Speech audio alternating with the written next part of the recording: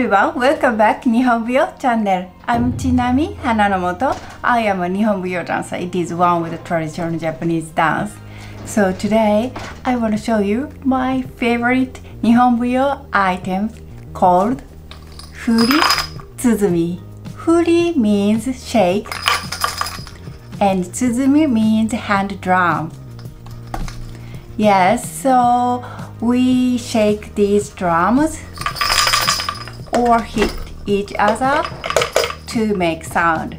So maybe you know when I danced the Musume dojos before, I used these drums. And these are also used in performance such as Yashiki Musume, Kagami Jishi, and Asazuma Fune. Yes. So let's look at these drums more closely. ここからは日本語を使って説明していきます。この太鼓は木製です。木でできていますね。で、直径は約18センチあります。そして厚さですね。はい、そして厚さは約4センチあります。このように穴が3つ開いています。はい、そして表面はフラットになっていて、裏はこのように穴が開いていて、ここに手を4本このようにかけて持ちます。はい。ではですね、この中のイラストを描いてみたので見ていきましょう。このね、蓋の部分をパカッと外した部分の絵がこちらです。はい。では説明していきます。上の部分をパカッと開けた図がこちらになっていて、先ほども言ったようにここ直径が18センチになります。そして内側の円の直径は16センチです。はい。そしてここは約1センチです。はい。そしてですね、間には間仕切りが敷かれています。このように。はい。そしてこの左側の穴が3つ開いている方に鈴が4つ入るようになっています。間仕切りがあるので鈴は右の方には行きません。そしてこの左側のスペースでぶつかって音を出すという仕組みになります。はい。その後このようにパカッと蓋をしてこここの穴を手で握って持つという仕組みになっております。はい。では鳴らしてみましょう。実はかなり大きな音が出るので音量に注意してくださいね。はい。ではまず振ってみます。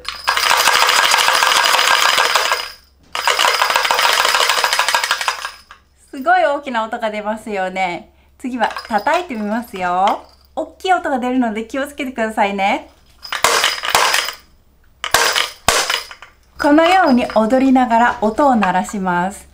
実はですねこれを叩いてる時はとても大きな音が出るので私にはあのプログラムの音楽はその瞬間聞こえなくなります。なのでよく耳を澄ましてかすかに聞こえる音を拾ってあの太鼓を叩いたり振りを合わせたりするようになります。はい。それでは早速この振り鼓を使って踊ってみたいと思います。ちょうど私が今お稽古をしている屋敷娘の中にこの振り鼓を持って踊る箇所があるのでそこを披露しますね。この振り鼓も楽器のようになっているのでそこに注目して見てみてください。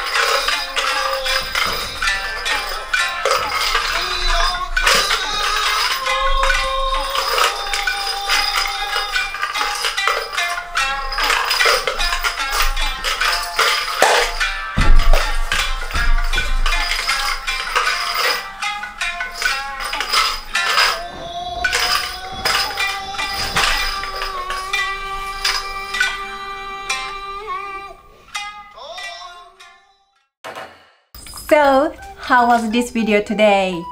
Today I focused on Fritsuzumi, but we have many other items like umbrella and scents and many many other items. So I will focus on each items and I will tell you their structure and how to use them in this channel. So if you like this video, please hit good button and subscribe for me. So thank you for watching this video today and see you in the next time. ありがとうございました。